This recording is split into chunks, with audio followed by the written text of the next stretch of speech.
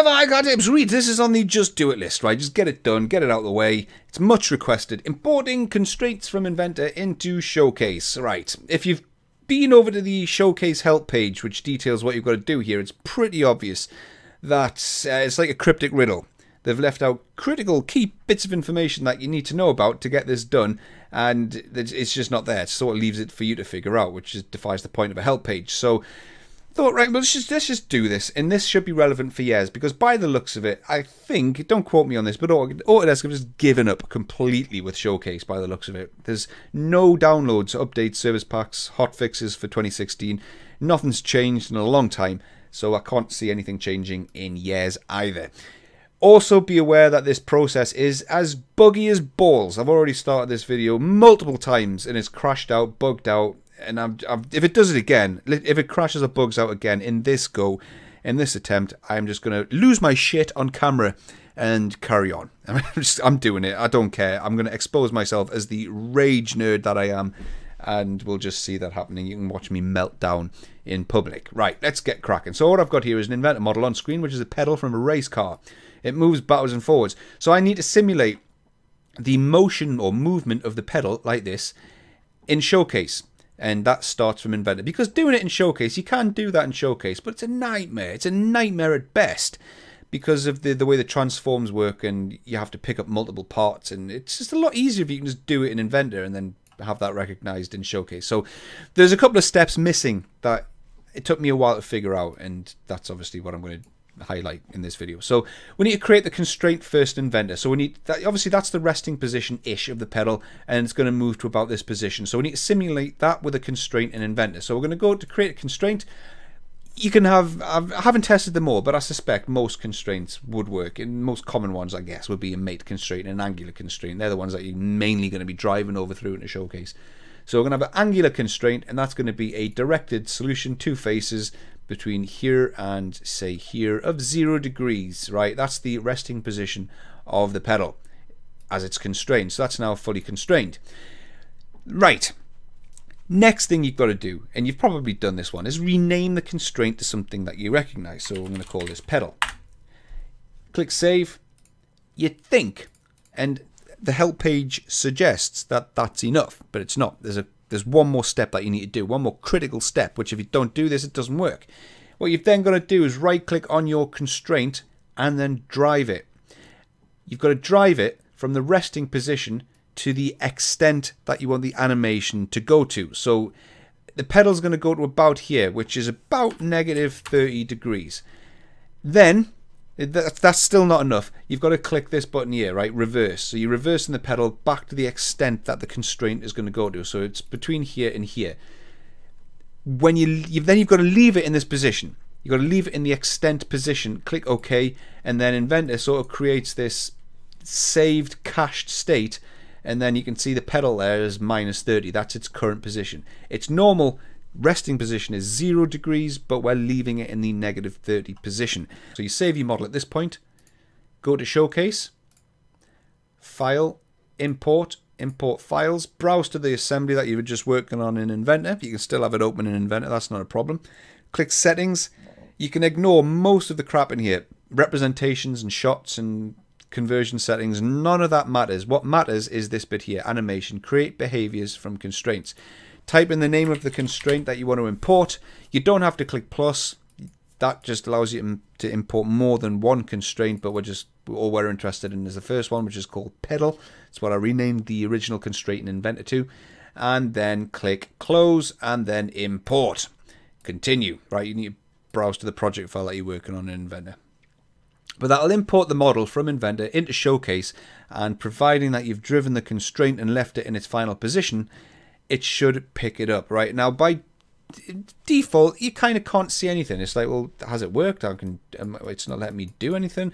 Hit B on the keyboard, and that brings up the behaviors, and then you'll see your constraint. Providing that you've done everything that I've said to do, you'll find your constraint in the behaviors area with the name of your constraint underneath it. Right click on that and then go to FBX animation controls then you can click play and reverse and it will show you constraint reversing to and from or playing to and from the position that you've driven it to in Inventor. So that would be 0 degrees and then that is the negative 30 position that we left Inventor in when we click save. And that's it. That's how you do it. That's how you import a constraint from Inventor into Showcase. If that's all you need to do, then that's all you need to do. That's as much as I need to show you. Thanks very much. Toodles. However, you might be thinking, well, what next? What what do you do next? Fine, I can import the constraint, but what am I going to do in Showcase? Am I just going to click, just going to sit here looking at a boring model, click and play in reverse? Is that what we can do with it here? No, you can do more with it. So this is sort of going off the beaten track a little bit. And I'm just going to touch on a couple of extra showcase bits here. Just touching on them, not going into too much detail or this will just this video will be too long. So what do you do with the behavior, right? Well, the, the main thing that you would do with the behavior is you'd add it to a storyboard slide. So you'd right click on it, add to new storyboard slide, and play it forward from the start. What that's going to do is create a new storyboard slide. So go to story, storyboard.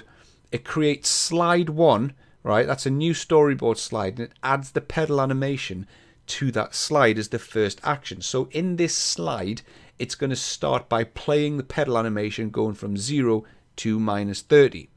So if we right click on the slide, play it from the start, the pedal goes from 0 to minus 30. Great. What next? Well, normally you'd want it to then go back to its original position. So you can then Go to the properties of the storyboard slide. So right click on that, go to properties, and then you get this animation timeline. Zero, it's a three second duration. So you've got zero, one second there, two seconds, and three seconds. So for the first 0.6 ish seconds, it's playing the animation of the constraint from start to negative 30. But then you want it to go back to zero. So what you do is you go to slide items, choose uh, the behavior of the pedal, play backwards from the end and then just drag this little clip, right? So this is the animation of it going from minus 30 to 0. Drag that to start from the end of the first animation. Click rewind and then click play. and You can see it goes start back to the end. That's it. What next? Well, at this point, you can add extra. You can have it going backwards again and then backwards again. You can add as many of these in as you want over the course of three seconds. You can increase the timeline of the slide if you want more than three seconds. Or you can add like a camera shot if you want to, so you can have the camera orbiting the pedal as it's moving backwards and forwards. You can do that if you want. So you go to story, create a shot, a cinematic orbit, right? And then we can say, right, this is going to be a camera 360 orbit. That's just the name of it, so you know what it is. For the transition, cut to the shots.